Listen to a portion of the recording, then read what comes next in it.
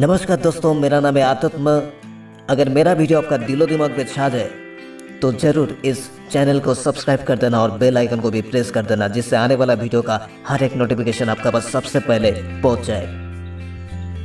मैं हर हफ़्ता नया नया वीडियो लाता रहूँगा, जिसमें आप कुछ नए सीख पाएँगे। मैं आज ऐसे एक टॉपिक में बात करूँगा, जिस टॉपिक में कोई बात ही नहीं करता। यह असलियत में कोई टॉपिक नहीं। ये जीवन दाता की दर्द भरी कहानी दास्ता या शायरी। अगर आपको मैं सवाल पूछूँ कि आप आज ज़िंदा क्यों है? आप कैसे आँखों से देख पा रहे और मेरे बात को कानों से सुन पा रहे तो विज्ञान के छात्र कहेंगे एनर्जी से। और फिलोसफी का स्टूडेंट कहेंगे, मन से, दिमाग से, समझ से, सोच से। ना जाने कितना तरह तरह के जवाब देंगे। मैं मान लेता हूँ एनर्जी बहुत बड़ा पॉइंट है। और ये मानता ही नहीं, हकीकत है। क्योंकि हमारा शरीर का जो क्षमता तो एनर्जी से आता है। और तब हमारा ये ऑर्गन काम कर पाता है। लेकिन शरीर का एनर्जी असलियत में कहाँ से आता है? खाने से। और खाना कहाँ से मिलता है? बहुत कोई बोलेगा, पैसे से। और यही हमारा सबसे बड़ा मूर्खता है।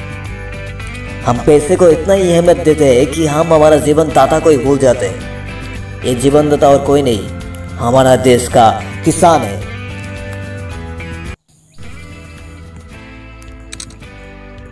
अगर सब किसान फ़सलें उत्पादन करना बंद कर दे तो पैसे से खाक खाना मिलेगा। अगर खाना ही नहीं रहेगा तो समाज, राजनीति, शिक्षा क्या सब नहीं हो जाता है। और खाना तो अभी हमारा पास आएगा जब किसान रहेगा। मैं कहूँगा, अगर आप भगवान को ना माने तो किसान को एक प्रकार से भगवान के रूप में मान ले। ये मानने से आपका ही फ़ायदा होगा। क्योंकि आप जब अन्न का एक दाना खाते हैं तो इस अन्न में तो ये सिर्फ़ अन्न नहीं होता, असलियत में इसमें किसानों का आत्मा बसा होता है। क्योंकि धूप, बारिश, बाढ़, हर एक प्रकार के संकट से जूझते हुए अपने खून पसीना एक करके हमारा पास अपना मेहनत का अन्न बेचता है। ये सिर्फ़ मैं कह रहा हूँ, लेकिन उनका दर्द महसूस करने का क्षमता हमारा अंदर नहीं है।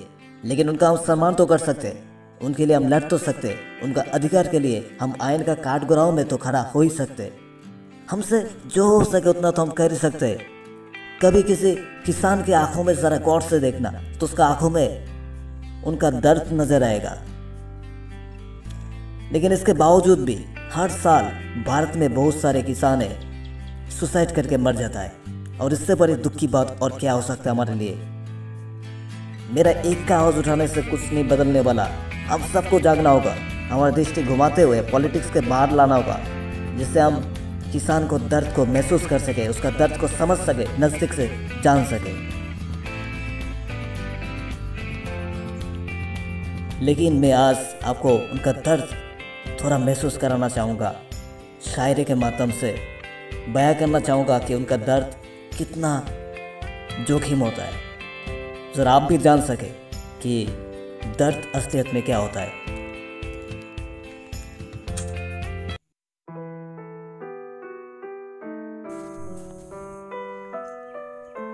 ज़मीन जल चुकी है, आसमान बाकी है, सूखे कुए, तुम्हारा इम्तिहान बाकी है। वो जो खेतों की मेरों पर उदास बैठी है, उनकी आँखों में अब तक ईमान बाकी है। ज़मीन जल चुकी है, आसमान बाकी है। सूखे कुए तुम्हारा इम्तिहान बाकी है। वो जो खेतों की मेरों पर उदास बैठी है, उनकी आँखों में अब तक ईमान बाकी है। बादल बरस जाना समय पर इस बार। किसी का मकान गिर भी तो किसी का लगान बाकी है। बादल बरस जाना समय पर इस बार। किसी का मकान गिर भी तो किसी का लगान बाकी है।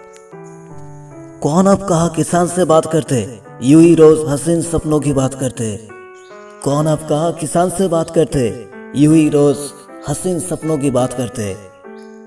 गाँव से शहर घूमने आए किसान ने क्या खूब लिखा है चिंता वहाँ भी थी, चिंता यह भी है। गाँव से शहर घूमने आए किसान ने क्या खूब लिखा है चिंता वहाँ भी थी, चिंता यह भी है। गाँव में तो केवल फ़सलें ही खराब थी, शहर में तो पूरी नस्लें ही खराब है। गाँव में तो केवल फ़सलें ही खराब थी, शहर में तो पूरी नस्लें ही खराब है। मेहनत की मिसाल है जिन पर दिनों का निशा है। मेहनत की मिसाल है जिन पर दिनों का निशा है। हल चलाने में स्वयं को मिटा दिया वो और कोई नहीं, हमारा देश का किसान है। हल चलाने में स्वयं को मिटा दिया वो और कोई नहीं, हमारा देश का किसान है। छोटे छोटे हाथों में छाले हो जाते, किसान के बच्चे इसलिए दिल बाले हो जाते। छोटे छोटे हाथों में छाले हो जाते, किसान के बच्चे इसलिए दिल बाले हो जाते। यही बॉर्डर पर सेना में कुर्बान हो जाते। किसान के बच्चे वक्त से पहले ही जवान हो जाते। यही बॉर्डर पर सीने में कुर्बान हो जाते। किसान के बच्चे वक्त से पहले ही जवान हो जाते। ईमान का सौदा करता है। ज़िंदगी की कीमत क्या जाने? ईमान की सौदा करता है, ज़िंदगी की कीमत क्या जाने, जो फ़सल की कीमत दे ना सके, वो चाँद की कीमत क्या जाने। जो फ़सल की कीमत दे ना सके, वो चाँद की कीमत क्या जाने। यूँ ही जीते जी मुझे मत मारो, पहले से मैं दुखी इंसान हूँ। यूँ ही जीते जी मुझे मत मारो, पहले से मैं दुखी इंसान हूँ। मेरी मौत का कारण यही है कि मैं पेशे से किसान हूँ। मेरी मौत के कारण यही है कि मैं पेशे से एक किसान हूँ।